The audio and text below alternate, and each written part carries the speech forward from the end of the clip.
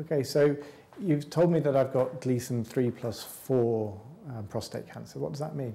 Prostate cancer's is out of 10. So 10 out of 10 is the worst prostate cancer you can have, and 6 out of 10 is the, the best prostate cancer you can have. And that system's called the Gleason score system. It's quite a complicated system, but if I just go through it in a bit of detail, because that will help you understand why we sometimes suggest let's do this or let's do this. The, the score out of 10 is actually made up of two grades of prostate cancer, scored out of five. And the first grade, when they look at all your biopsies, they say this is the most common area of cancer that you've got, and they give that a score of three, four, or five. And then the uh, second number in your score is the second most common bit of cancer you've got, and that gets three, four, or five. And these are added together to give you a score out of 10. And you've got three plus four prostate cancer, which means that three is the main uh, element and four is the secondary element. And the reason that we put a lot of emphasis on this is that we know that biologically three cancer tends not to spread. Um, it can do, but much less commonly, whereas four and five cancer um, can spread. Uh, so in a way, that's the bit we're, we're worried about. So although someone could have six, seven, eight, nine, or 10, we think of six really in one group and everything else in another group because it has to have some bit of four or or worse, really. I mean, you're saying if most of my cancer is Gleason 3, so that the least aggressive type, does that still mean that I need treatment? A lot of Gleason 3 plus 3 prostate cancer would just go onto active surveillance and we just watch that. Mm. And some Gleason 3 plus 4 prostate cancer would go onto active surveillance. Um, and but really when we make that decision there's a few factors involved as to whether we say no look you should have more radical treatment or you can have active surveillance if i just tell you a little bit about active surveillance to start with the advantages are that if we don't do anything radical to you you can't have the side effects of radical treatment and we can talk about those in a minute so Uh, but it, it, that's good to avoid those. The disadvantage is that if we don't do something bigger, we might miss, miss the boat. Um, now, people with Gleason 3 plus 3 prostate cancer, we're pretty happy to go onto active surveillance. But once you start getting higher than that, then we a little bit more, more uneasy. Okay, so when I'm trying to decide between potentially active surveillance or treatment for this Gleason 3 plus 4 prostate cancer, Are there any um, factors that I should weigh up when trying to make that decision? Yeah, so as I said to you, really it's the, the four bit that we're most worried about. So we, we really want to know how much four there, there is. So we, we firstly look at the number of cores that you had out of uh, in your biopsies that were positive. So typically take 12 cores, something like that, and we look, you know, is it most of those cores positive? Is it just one core positive? So that gives us a bit of an idea of the volume of cancer. The second thing that the pathologists tell us is that when the, the biopsies come out, they're about the width of a pencil lead, um, and they're maybe a couple of centimetres long. And, and the pathologists look at that and they say, uh, how much of that pencil lead effectively was cancerous. So 5%, 50%, 100%. So that also gives us an idea of how much cancer there is there. And your 3 plus 4, so, which means that 3 is the commonest area, so we would look at what the split is. So some people are 3 plus 4, 95% 3, 5% 4. Um, others would be 55, 45 right. split. So if someone had a very small volume of cancer, maybe one or two cores, and the, the four element was a very, very minor amount of the three plus four, we might consider active surveillance on them. If you've got more cancer, and certainly if you've got bigger volumes of four, then we would be much more inclined to go for um, more radical treatment.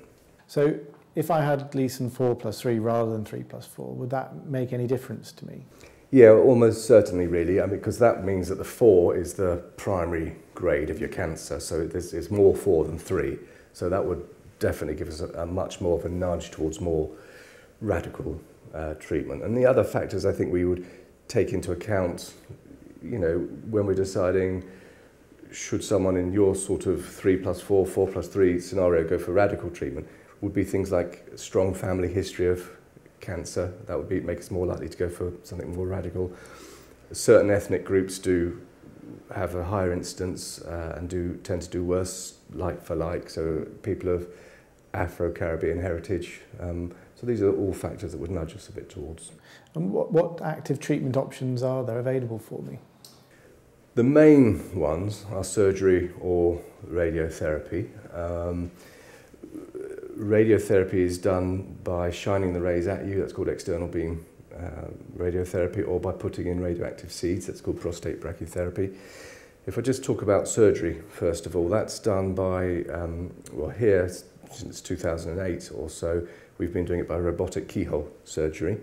Um, the uh, and with the surgery, the whole prostate is removed, and then we join the water pipe back up to the bladder. And there's a number of advantages and disadvantages, really.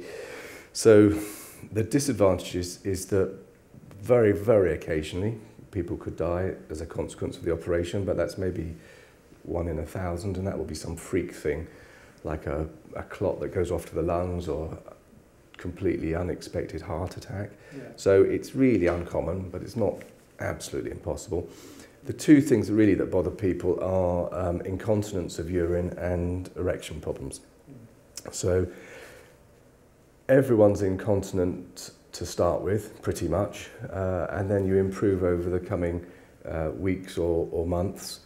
Um, and you manage that with pads down your down your pants really um, and mostly it's time that just gets people there there are certain factors that can in, in, that make us feel someone's incontinence might be less than, than others. So age is a big thing. You know, if you're if someone is getting significantly over 70, you can imagine that the pelvic floor and everything's just not as strong compared with someone who's say 50. Um, big prostates tend to be perhaps a little bit worse because we have to make a bigger hole in the bladder to get them out. Um, and if people are nice and skinny, that's quite good. And there are other, other factors as well for incontinence.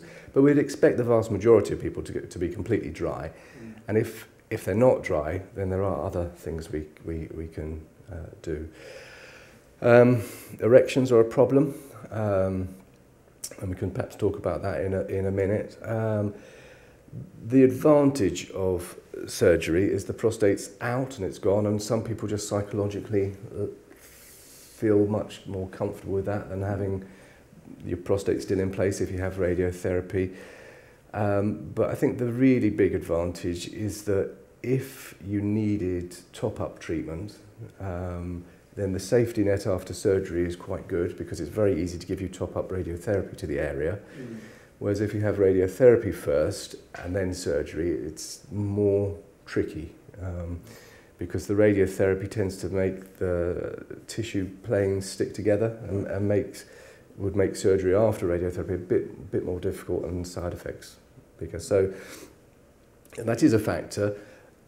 It's complicated because we then have to weigh up when we're advising which way to go. We sort of weigh up what are your risks of needing a safety net You know, in an older person with less nasty cancer, you're not likely to need that safety net. Mm. Whereas a very young person with really aggressive cancer, it's certainly a factor in our consideration, really. I mean, sexual function is quite important to me. Is there anything that can be done to try and reduce the risk of that being harmed? Uh, certainly, the um, the nerves to the to the penis for erections run on the prostate, um, and they're not a um, they're like a meshwork of nerves. It's not a single cable, so you don't go, oh, cut it or haven't cut it. The, it's a meshwork. So the closer we stick to the prostate, the, the more of the meshwork we save and the more likely someone is to get erections back. Um, the reason we don't just do that on everybody anyway um, is that prostate cancer mostly lives around the edge of the prostate.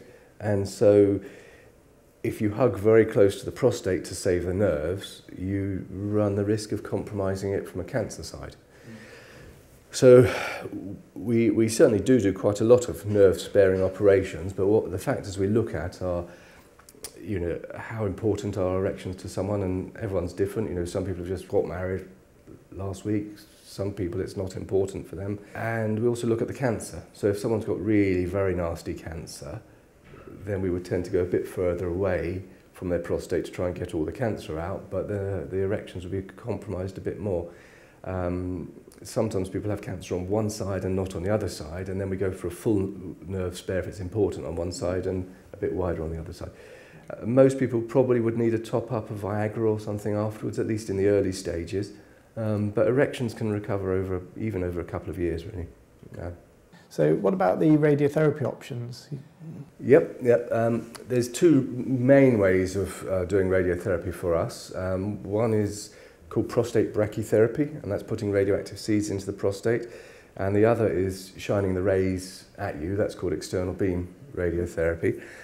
Um, with prostate brachytherapy, um, it's done under a general anaesthetic um, and it's, it's like the reverse of a biopsy really. So we put needles into the prostate mm. but instead of pulling out bits of prostate to biopsy, we put in radioactive pellets um, and they stay in the prostate forever uh, and they give out their radiation over about a year.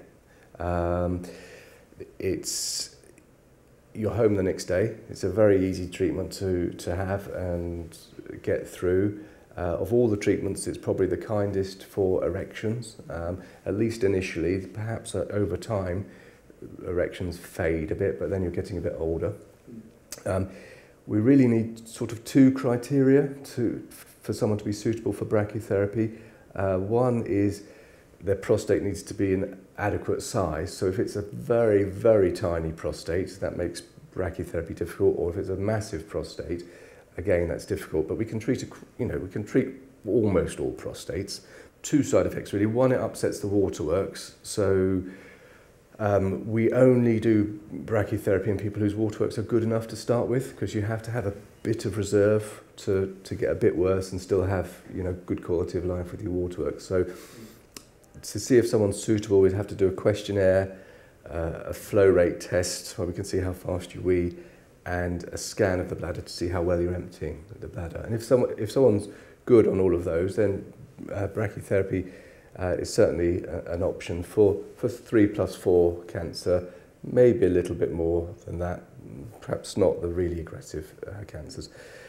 The downside of brachytherapy uh, Uh, and in fact, the downside of external beam radiotherapy, which I'll tell you about in a second, is that with all radiotherapy, it tends to fuse the tissue planes a little bit, make, make them a bit sticky. So if you needed top-up treatment after some form of radiotherapy, it's quite hard to go back and do surgery. It's not impossible, but it's more difficult. It's not the same the other way around. So you talked about brachytherapy. What other radiotherapy options are there? External beam radiotherapy, and that's where you basically just lie down on a special bed and we fire the um, radiotherapy rays at you. Um, that's done daily, uh, usually for about four weeks, Monday to Friday for about four weeks.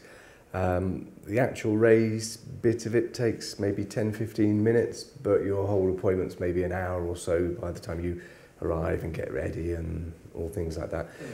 Um, so actually going through it's fairly straight, straightforward. Most people towards the end of the course of radiotherapy start feeling a little bit tired. Um, but partly that's just all the travelling in and out every day for, for a month.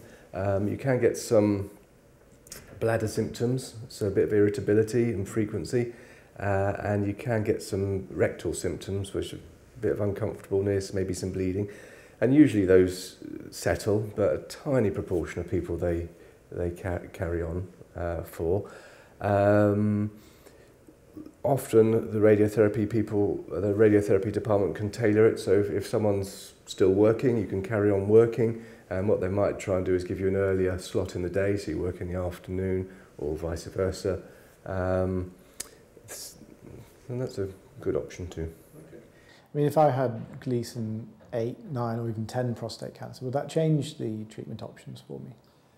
Uh, well, we, we wouldn't contemplate active surveillance for that. Um, and if we were and going for more radical treatment, more active treatment, it's more likely that we would go for multimodality treatment. So if we decided to go down a radiotherapy route, it's possible that you would have radioactive seeds and external beam radiotherapy uh, as a double treatment.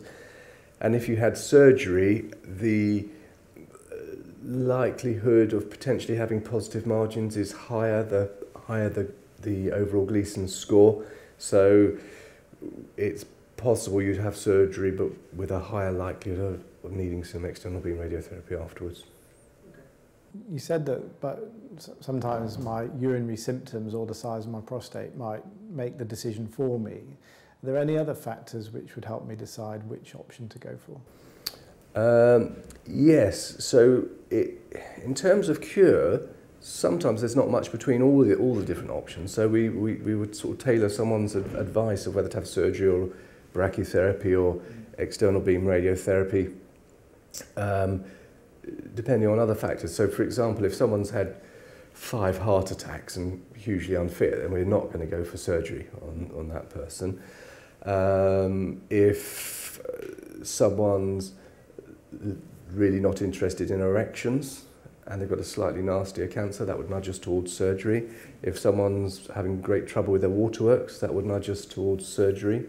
Um, if someone had slightly less nasty prostate cancer and their erections were important for them and they wanted to get back to work really rapidly, that might nudge us towards brachytherapy. So there's lots of different things that push us one way or the other. There's not, there's not one outstanding treatment that's clearly better for everyone than, than everyone else.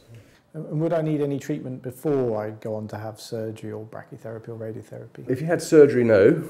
Um, if you have radiotherapy, you'd probably have some hormones beforehand, and this would and this would be about three months before you had the radiotherapy, um, and for some time after you had the radiotherapy, um, and how long afterwards would depend really on the grade of your cancer. So potentially just three months, but sometimes longer, 18 months, two, two years. And this isn't just a NHS tactic to, for capacity problems and just delaying you. It's because hormones have been shown to um, sensitize the prostate to the, to the effects of radiotherapy, so the results are better. Yeah. Um, and secondly, the hormones are actually anti-cancer in their own right. So although you think, oh, I want to get on with my radiotherapy, actually from when you start the hormones, which we normally start people on tablets, from the moment you start them, it's anti-prostate cancer in its own right. And how will we know how successful the treatment's been? You know, do I get followed up for how long? You know, what's the process? Yeah, so we follow you up with PSA um, because um, now it's slightly different for surgery and radiotherapy. If you have surgery, your PSA should fall to it's not it's not exactly nothing because that's the way the test goes, but it's virtually nothing, and your PSA should stay flat at that level forever. Um, if your PSA started to go up and, and certainly repeatedly went up and up and up and up, we go, hang on, this isn't right. You know, because if you had your prostate out, you shouldn't have PSA. So if your PSA goes repeatedly up, we know there's some trouble somewhere, which would be we worry about a spread or, or a recurrence. Um, if that, depending on the quite when that happens, we you probably need some extra treatment, and that may be radiotherapy to the pelvis, which is very easily done, external beam radiotherapy to the pelvis, which is very easily done. Um, and that's done in a slightly lower dose than if you had radiotherapy as your main treatment. So the side effects are actually not that bad, um, but it's just a chore to go through two, two treatments.